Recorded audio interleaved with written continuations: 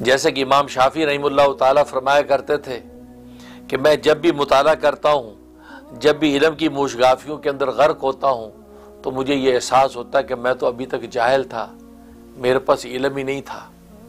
क्यों? वो इसलिए फरमाते हैं कि वो जितनी मनाजिल इलम की तय कर चुके हैं, जब उसकी ऊपर वाली मंजिल पर कदम रखते हैं तो उसको उन्हें महसूस होता कि यार, अब तक तो मैं जाहिल ही था। अभी तक इलम की मंजिल मुझे मिली नहीं थी तो गोया कि अभी तक मुझे अदब इलम था, मुझे इलम नहीं था।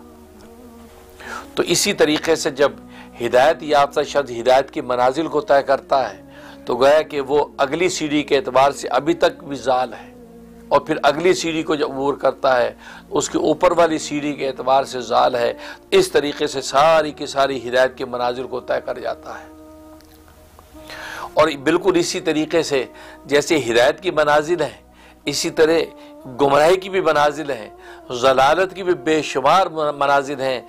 जब जलालत की एक सीढ़ी पर जब कदम रखता है, जलालत के एक गढ़े के अंदर जब शख्स गिरता है तो गोया कि जब दूसरे गढ़े भी गिरेगा तो गोया कि पहली वाला जो गढ़ा था जिसके अंदर वो गिरा था, वो बाद वाले के एतबार से गोया कि ये अदम अदम जलालत थी। लेकिन आगे से, आगे जब वो जलालत के गढ़ों में गिरता चला जाता है तो गोया कि वो इसकी अदम जलालत, मजीद जलालत के अंदर गर्क होती चली जाती है। यहाँ तक कि वो आखिरी सीढ़ी जलालत की जब, और आखिरी गढ़े के अंदर जब गिर जाता है तो मालूम है कि बिल्कुल अजल जो है कि अजल शकी अजल है, गोया कि ये इंतहाई मनाजिर जो गुमराही की थी उसको तय कर चुका है। अब ये ख़त्म अल्लाह वाला कलूबिम वाला समीम वाला अब सारी गशावा का मस्ताक हो चुका है।